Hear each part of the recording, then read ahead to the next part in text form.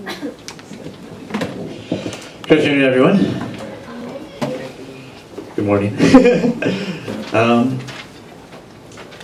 have you guys ever met someone that you kind of talked to or you wanted to share the gospel with, and that person kind of had this view of God where, you know, God, He was a creator, He created all things, but then He kind of stepped back and He's kind of just watching what happens.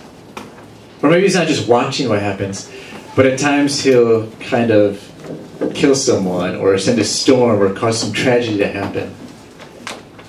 You know, some people have this view of God where he's like he's like a child with an anthill. And he kind of just does things to his pleasure. And he likes to see people suffer. And that's kind of why he does these things. You know, if, if you just look at the Old Testament and you kind of pick it apart, that's kind of a view of God that can come about. You know, you see God and you see how, you know, at times he has this wrath against the people. You know, he's killing people all the time. Um, you know, there's stories where you know he's inflicting plagues on people, killing them off, spreading diseases. You know, at times he kills people over what seems to be petty things. You know, a person touches the ark, and they die just because they touched it. They die. You know, he kills not only the enemies of the Israelites, but he even kills the Israelites themselves. You know, if you kind of just look at that just at face value, it kind of looks like, you know, what kind of God is this you know, that we worship? You know, God that takes pleasure in killing people, especially for little things. You know, and it causes a lot of people to, to kind of follow into this course where they have disbelief about God. At times, even anger against Him because He allows these things to happen. But then that's kind of like the Old Testament view of God a lot of times. But then you come to the New Testament and you see this God in the flesh, which is Jesus. And you see a person who's loving, he's compassionate, he's very accepting of people. You know, he, accept the, he accepts the widows, the orphans, you know, the children. Pretty much everyone that no one else will accept, he accepts. And this Jesus, you know, he's humble, he's, he's caring, he's gentle, he's kind, he's welcoming. And so if you have these, these views, you say, okay, there's a God in the Old Testament, and there's a God in the New Testament. It seems like there's this huge divide between them. You know, one is a God where you always see his wrath and justice, and the other God, you always see his compassion and his love for people. And so people tend to say, it looks kind of like there's two different gods. They're two different books, two different gods here. And it causes a lot of people to have a lot of conflicts and disbelief. Now, I bring this up because this was kind of the case of one of my friends this week. You know, they were trying to evangelize, you know, someone that they know, a very smart individual. And this person had grown up Christian all their life. But it was this conflict that they weren't able to resolve. The God of the Old Testament, he's so angry. You know, he's always just killing people, allowing people to suffer. And the New Testament, it's like a different person. You know, we need to resolve these kind of issues. You know, and what helps us is an accurate understanding of who God is as revealed to us through the Bible. So knowing the scriptures well is important. And I think it's a bit easier to understand than we think. You know, if you think about a good father, you know, a father can be loving and strict at the same time. There's not a conflict at all there. You know, even though that God disciplines his people, allowing them at times to fall into destruction and slavery, it says this about God. In Isaiah 22, it says that God, he weeps over the destruction of his people. Know, who allows destruction to come to his people? It's God. He allows it to happen. He orchestrates it at times. But it says at the same time, he weeps over the destruction of his people. And I think if you're a parent or if you're a teacher, even, you could easily understand this. There's times when you really do desire what's best for a child, what's best for your student. But if you look at that child and their nature, what's rooted in them, what's imprinted upon them, you know, they have this nature that is, is not good. And so at times, you have to discipline them. But that's a part of the love that you have at the same time. You know, you see them and you love them, you care for them, but you see them going down the wrong path. What do you do? at times these things are necessary.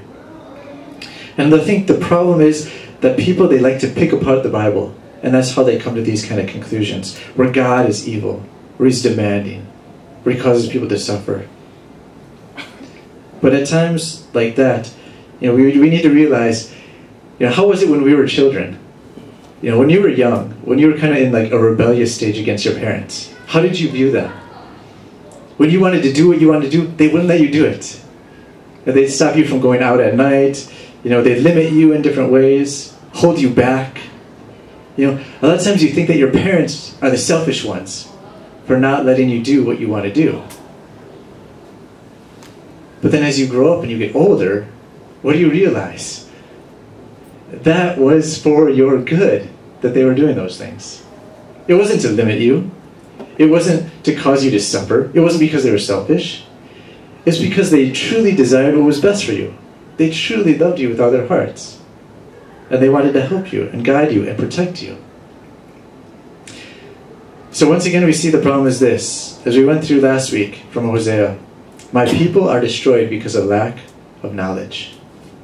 It's because people don't really understand God. They don't understand God's word, and they come to these conclusions. So there's three things that I want to get across to you today as we look at this book of Jonah. The first thing is that God has a plan. God has a plan, but when you try to run from that plan, things aren't going to go well. Secondly, you can't force your plan to become God's plan. You know, this is Jonah's mistake.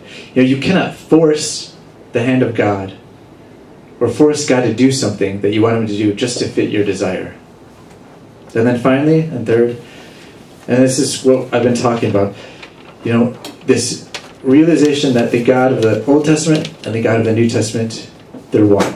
Our God is one. He is a God of wrath, a God of justice, but also a God of the greatest love and the greatest compassion. And most importantly, related to this is it's basically the theme of Jonah salvation comes from the Lord. And what that means is if you look at God's justice and his love, it comes about through his salvation to us. Now, previously, in the last few messages, we've been going through all these books, especially of the Old Testament, and we went through kind of Amos, and it was kind of a time where Jeroboam II was reigning. It was a time of, of privilege. You know, every, everything was going well, and they were rich. You know, trade was going well, and there was a lot of problems at the same time because the poor people were neglected, and people started turning more to idols again. And then we came to Hosea, and we saw that there's this marriage between God and the Israelites. And God, during this time, he is he's showing them that basically they are committing adultery. And this takes the form of idolatry against him.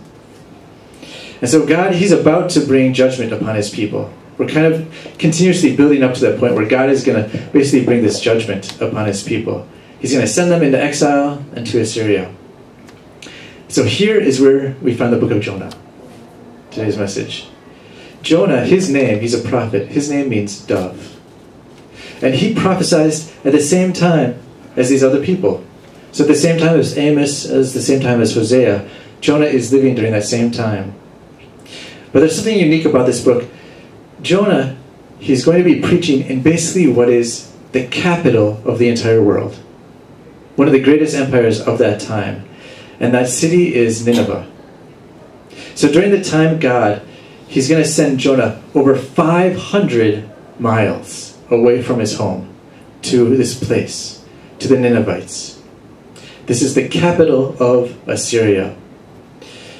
And, you know, this, this city, Nineveh, it has a very humanistic background. You know, it's a city that's basically set up against God. It was first built by Nimrod, you know, and it's known as the Great City. And this is the center of the empire. So Jonah, he's going to go there, he's going to pronounce judgment upon these people. And the special thing about this book also is that this book, the prophet is preaching 100% to Gentiles. So these are not Israelites, these are not Jews. They're 100% Gentiles. This is an entirely different nation. You know, this book is very unique. This never happens. You know, if you read the other books of the Bible, it's always about God and the Israelites. This is a book that's about God and this other group of people. It's very uncommon. And so let's look at this book together. Um, Jonah, if you have your Bibles, you can kind of follow along. We're just going through the chapters, basically. And it's very short. You know, you could read this, the whole book, in probably like 10, 15 minutes if you wanted to. Um, four chapters.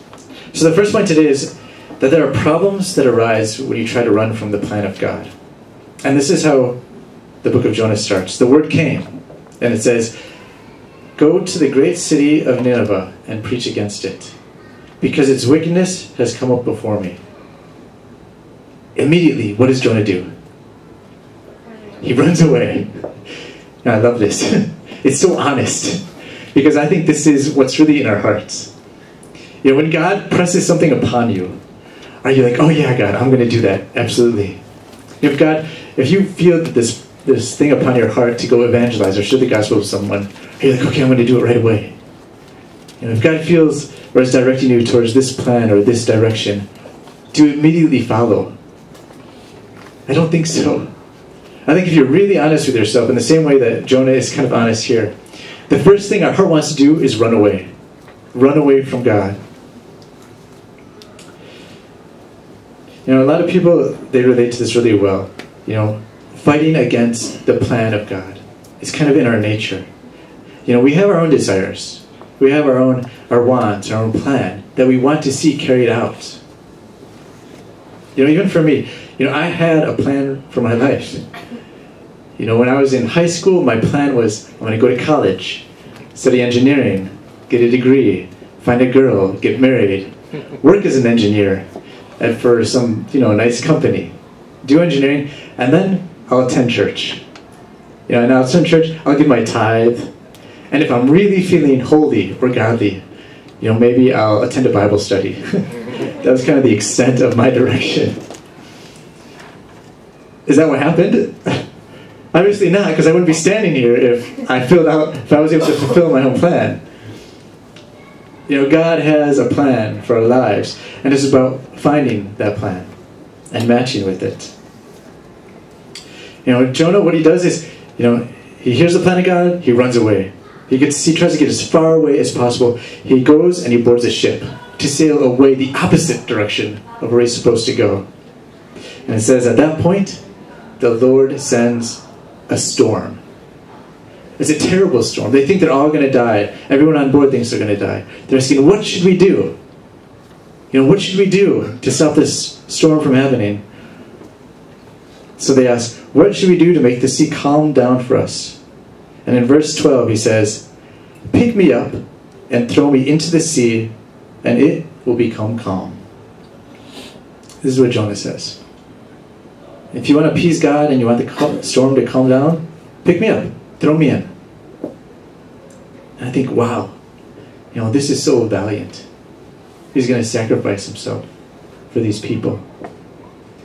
I think that's so amazing. But then if you look deeper, basically, you know, we'll find out later, he's basically choosing death rather than going to preach to the people of Nineveh. That's how badly he doesn't want to do this. He would rather die than follow God's plan. That's how determined he is. And so, reluctantly, the sailors, they throw him overboard. They throw him overboard, but does he get his wish? Does God let him die? No. Absolutely not. Even even death. You know, this for him is kind of a selfish escape he's trying to do. But God doesn't allow it. It says in verse 17, But the Lord provided a great fish to swallow Jonah. And Jonah was inside the fish three days and three nights. And this is pretty much what most people know about Jonah. You know, he was in this fish three days and three nights. Some people think it's a whale, but it actually never says that. It's just a big fish. But he's in there three days and three nights. I can't explain the science behind it, how, but this is what it says. And so in the fish, you know, God is not going to let him die. In the fish is the time where he's persuaded ultimately to follow God's plan. Even though Jonah thought that he would rather die than follow God's plan, he soon found that some things might be a little worse than death. And inside the fish, it was a great time of distress for Jonah. And I think that when you fight against the plan of God, trying to get your plan to win out over his, after that point, sometimes you might wonder why things don't work out the way you want. And no matter how much you try, they just don't work out.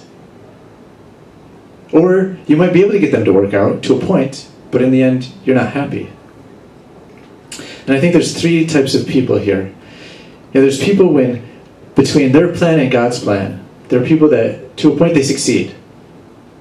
They succeed, they get what they want, they get their own way, but what's the end result? They're not happy. There's something missing, there's something unfulfilled. You know, they might get all the riches, you know, the success, everything might go their way at a lot of different costs.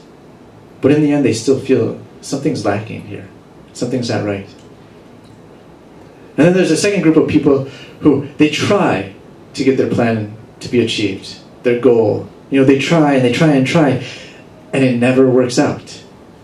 And so all they do is they just become bitter. They become bitter and angry and resentful. You know, why did I have this life? Why did things work out this way? This way? A lot of times they turn this anger and they, they direct it towards God, blaming God for their state.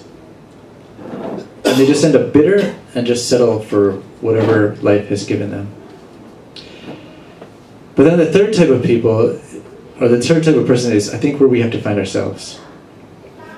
And it's the type of person that really is able to see God's plan and time schedule accurately. So God, of course, has a plan being able to see that, but the time schedule as well. Because God might lead you to a certain point just for a period of time, and He might lead you somewhere else later. So some people they might get stuck at that point and not know God is leading them somewhere else. Or they might wonder, why did this happen?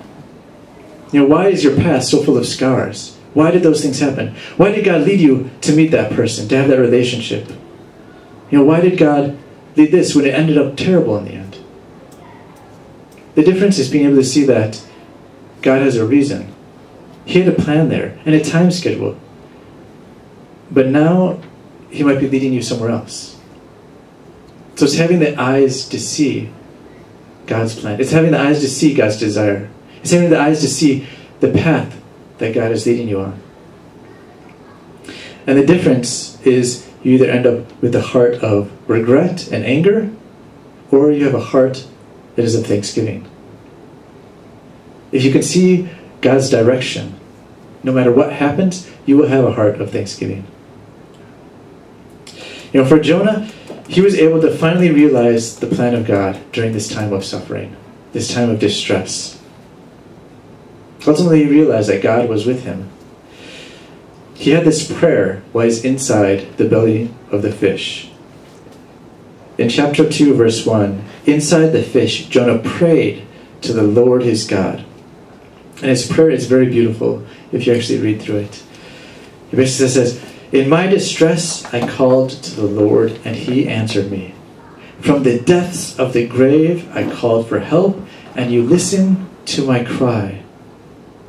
Basically saying, I called, you answered. In verse 5, the engulfing waters threatened me, the deep surrounded me. Seaweed was wrapped around my head. To the roots of the mountains I sank down. The earth beneath barred me in forever. You know, there's a lot of imagery here. It's basically he's sinking down into darkness, to death. And at this point, the reality of his choice is starting to come to him. He's starting to have regret. But then he ends it with this. He says, But you brought me, but you brought my life up from the pit, O Lord my God. So basically, God is rescuing him. God is the source of his life. And he makes the greatest confession at the end. In verse 9, he says, Salvation comes from the Lord. Salvation comes from the Lord. You know, if you forget everything else today about today's message, just remember that. Salvation comes from the Lord. That's the theme of this book. You know, he realized that this even applies to him. salvation wasn't in his own hands. He didn't even have control over his life. You know, he can't earn his salvation. His life, everything was in God's hands, his life and his death. He realized this. And at that point, the Lord commanded the fish, and it vomited him out on dry land. And so finally, and then next we go to, he finally follows the plan of God in chapter 3. He goes to Nineveh. So the word came to him a second time Go to the great city of Nineveh and proclaim the message I give you. So Jonah obeys, he goes. And you see that Nineveh, it was an important city. And he believed that it would require three days to actually go and preach the gospel here. Or not preach the gospel, but basically he's going to preach condemnation to the people. It's not a friendly message that he's giving them. He's basically going to say destruction's going to come here. So in his mind, he thought, three days. But what happens on the first day? It says on the first day, he started into the city and proclaimed, Forty more days and Nineveh will be overturned. And the result? The Ninevites believed in God. That's all it took. You know, just one word or one sentence. You know, and the Ninevites, they believed in God. I see I think this is simply amazing. You know, if you look at you know, how are people saved? Now, are people saved through our persuasion? You know, if we have a time schedule fit for someone, you know, if we follow that perfectly and, and do things according to that plan, is it going to work out where they're going to be saved?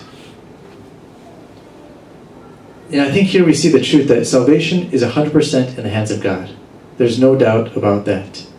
And what this practically means is, you know, when we go out to evangelize, it's not about God matching us and our schedule for things. It's about us matching God's time schedule. You know, the point is we have to discover God's time schedule and His plan. You know, we have ours, but God has His. And in His schedule, that's when people are saved. Because it is 100% the work of God. Know, continuing on, it says that the people in that city, it says they declared a fast. And all of them, from the greatest to the least, they put on sackcloth. Basically, the whole city believes in God. You know, it didn't matter if they were politicians, if they were the king, if they were beggars in the street. The whole city believed. And it says that, you know, through this, the city of 120,000 people were saved in a single day. You know, that's pretty amazing to me. You know, it's not three days, you know, it's a single day. He just goes there, he pronounces judgment. It's not seeker friendly at all. You know, he pronounces judgment, and through the word of God, 120,000 people are saved. You know, that is no doubt the miracle of God. But how does Jonah feel after this happens? So everyone's being saved. The whole people are saved. You know, everybody should be rejoicing. Jonah should be so happy. But what is Jonah's response to this? It's amazing. His response to the amazing miracle, the work of God, is this He is angry. Angry. All these people are being saved. It's wonderful. Let's celebrate. No, he is angry. And so finally, in the last chapter of Jonah, we see why he did what he did. Why he had these actions. Why he ran away. Why does Jonah run away? Why is he angry? It says in chapter 4, verse 1 that Jonah was greatly displeased and became angry. He prayed, O Lord, is this not what I said when I was still at home? So, what does this mean? Jonah knew what was going to happen. Jonah knew that if he followed God's plan and went to Nineveh, that people would be saved.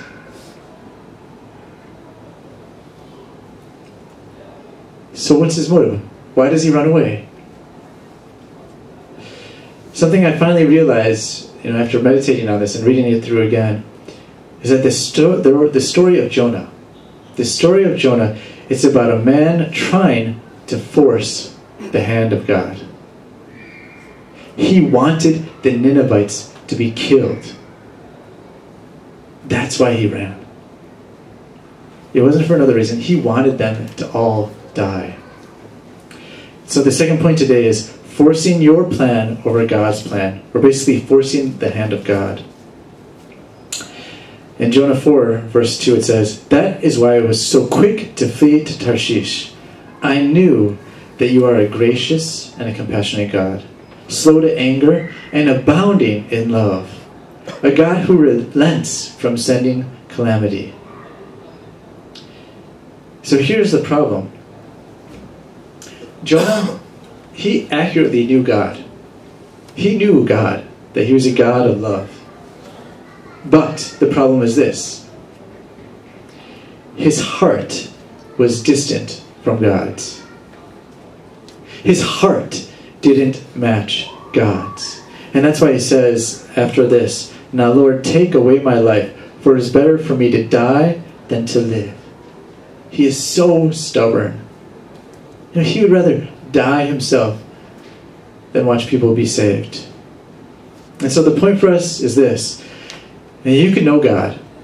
You can know accurately who God is. You can know accurately all about Him.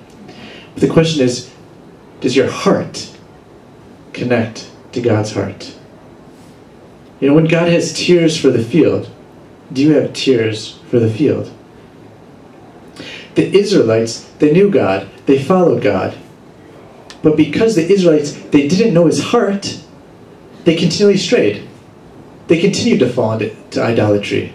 They continued to fall into problems. That is why, you know, the greatest prayer that you can have is really to have the heart of God. You know, this is one of the prayers that I have myself all the time. You know, regarding the people around me, regarding just my life. And I think the greatest prayer that you can have is if you could gain the heart of God. This is one of the reasons that David was so blessed, because he had the heart of God as well. And this is also where the gospel ultimately truly connects with you. You know, the gospel is not just some head knowledge. The gospel really needs to connect here. And that's when it becomes real. You can know it in your head so well, but if it doesn't connect with your heart, you will be like Jonah. Running away from God's plan to fulfill your own desires, to fulfill your own wants.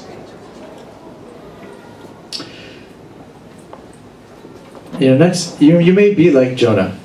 You know, a lot of us have different people around us that we don't necessarily like. Um, you might want to have like someone around you that you just would rather see disappear. You know, you hate them, you don't like them. In the same way, Jonah desires the people of Nineveh to be destroyed.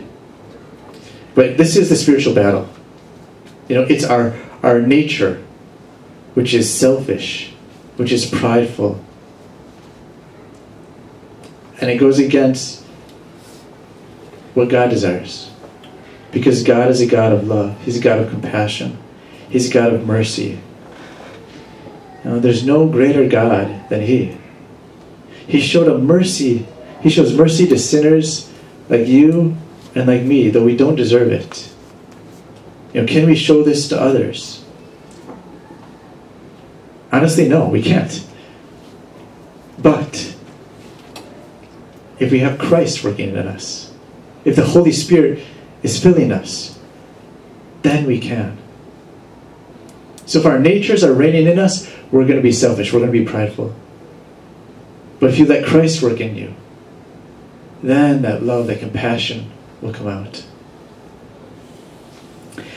You know, near the end, we see that after this, John is angry, so he goes and he says he sat down east of the city. Then, east of the city, he makes himself a shelter he sat in the shade and waited to see what would happen to the city. So you can kind of picture him. Jonah, you know, he goes off and he sits on the outskirts of the town and he's just getting ready. You know, what's going to happen? Basically, you know, he's like, get the popcorn ready. He's ready for the show. He's hoping that there are some people that aren't going to be saved. So that God will bring destruction upon them. That's his mindset still. He's still angry. He still wants them to die. He wants to see the show of God bring destruction upon them. And we look at Jonah, it kind of ends on a strange note.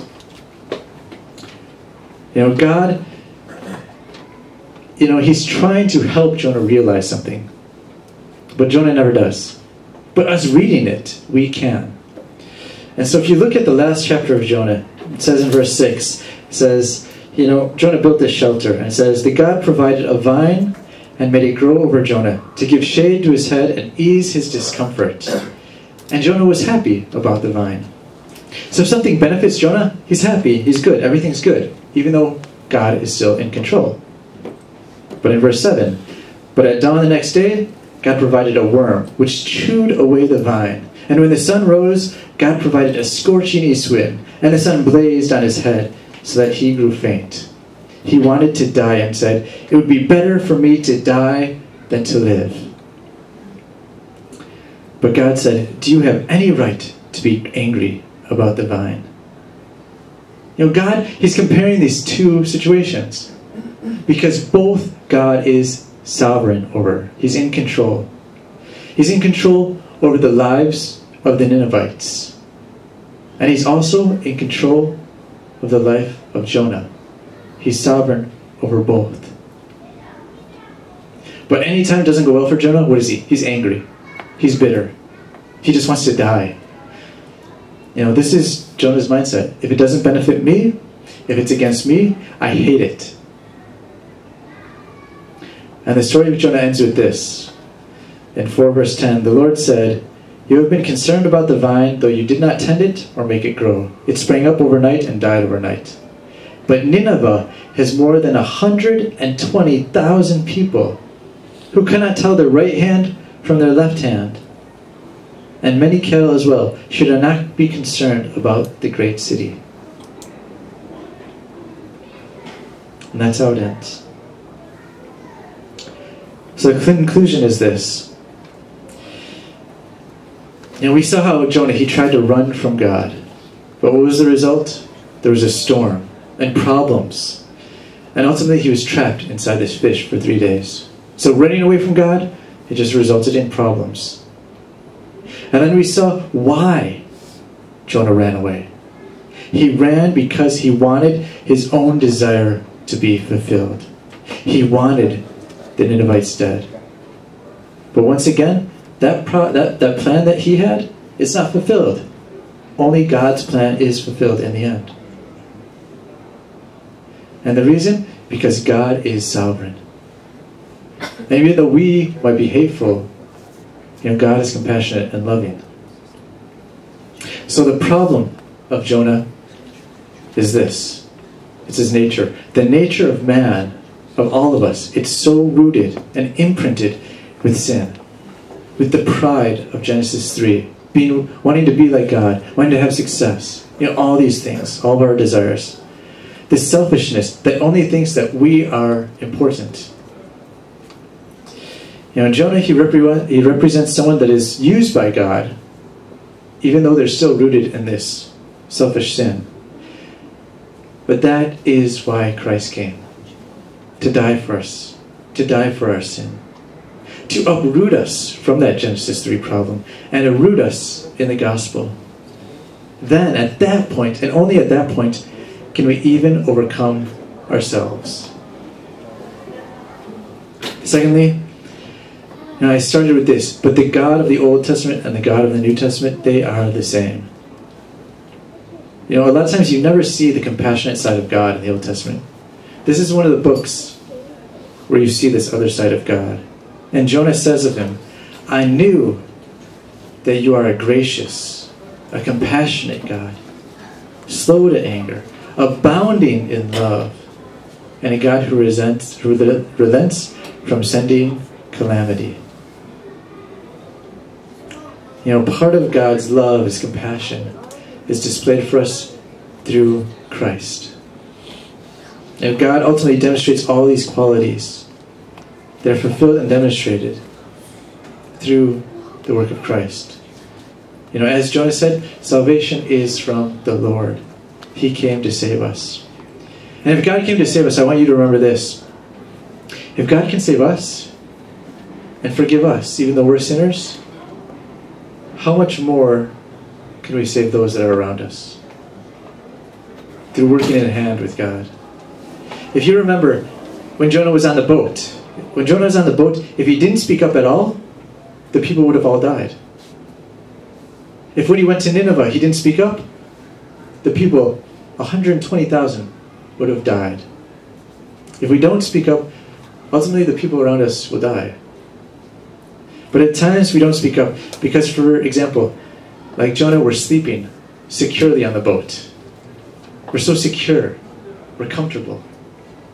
At times we don't speak up because maybe we're angry or we're selfish. We want people to get what they deserve ultimately in the end. You know, it's just about looking out for number one, which is yourself. You know, God shows us mercy, compassion, forgiveness. He saves us. Yet we struggle to do the same for others. We receive the love, we receive the good, but we don't show that love to others. We receive forgiveness, but many times we don't want to give it because we are stubborn. Just like the people of Israel, just like Jonah. So today, if you're holding on to a grudge against someone, you know, now is the time to realize and really let it go. You know, I don't know why Jonah hated the Ninevites, what reason he had. You know, it could have been something personal they did against him, like a Ninevite attacked him or attacked his family in some way, or against the people in general, he could have been angry because of what they did. I don't know why he wanted them all dead, but I do know this. I know that Jonah he was quick to get angry, and he was not able to forgive. He was always swept away by his emotions. He was angry to the point where he would rather die than forgive them or show them compassion. So finally, one last thing that we need to realize is that, you know, we are not Jews here. You know, we are in the same state as these Ninevites were, honestly. You know, the people of the Nineveh, they were Gentiles. They weren't the chosen people. We're not. We weren't the chosen people originally. You know, it was just for salvation. It was just for the Jews originally. You know, God could have easily destroyed us. Even as sinners, God could have sent us to hell, which is ultimately what we really deserve. But instead, God sent his one and only Son, the one whom he loved. He sent him to die for you and I. Know, that Son is the Christ, our Savior, our atoning sacrifice. And that's what allows this, this, you know, this just and righteous God to meet with a sinner like me. And that's ultimately called grace. It's the core of who our God is. I just want to end with this. Um, you know, the justice and wrath, the compassion of love, we see it displayed through the cross. Jonah wanted to die so the Ninevites would die. But Christ came to die so we may live. And that's our God. That's the difference between us and God. We're selfish, but God is loving and caring to the point of dying on the cross for us. Let's pray as we hold on to this message. And dear Father God, we just thank you once again for this day. Father God, we know that you, know, you have a plan for our lives. But we also have a plan for our own lives. Things that we desire, things that we own want. So I pray, Father God, more than anything else, that we can truly gain your heart. That when we look out at things and, and what path to follow, that we can truly be guided by the Holy Spirit. And know that whatever happens, whether good or bad, that if we are within your plan, that we are on the right path. We pray, Father God, that you allow us to continue to show our love and compassion for others in the same way that we have received it and we pray that you just guide us and lead us this week. We pray all these things in your Son, Jesus' name. Amen.